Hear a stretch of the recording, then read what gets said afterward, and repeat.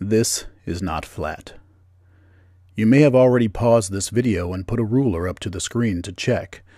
I know it seems flat, but you're actually looking at the edge of a circle from really close up. This is what you see when you take a picture of the horizon on Earth or look at it with your own eyes. Now I've started to back up from the circle and soon the curve will become more apparent. At what point do you notice it? But let's be honest. This example isn't realistic.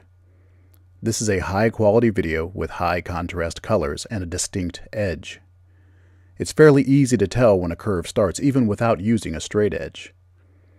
The real world, however, is fuzzy. Colors are muted. Your vision sucks.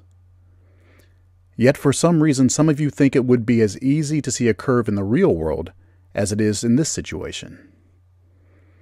I can't claim to know the driving force behind some people's inability to accept that the world is not flat. But what I do know is this is not flat. That's my job! That's what I do! I don't lose! I win!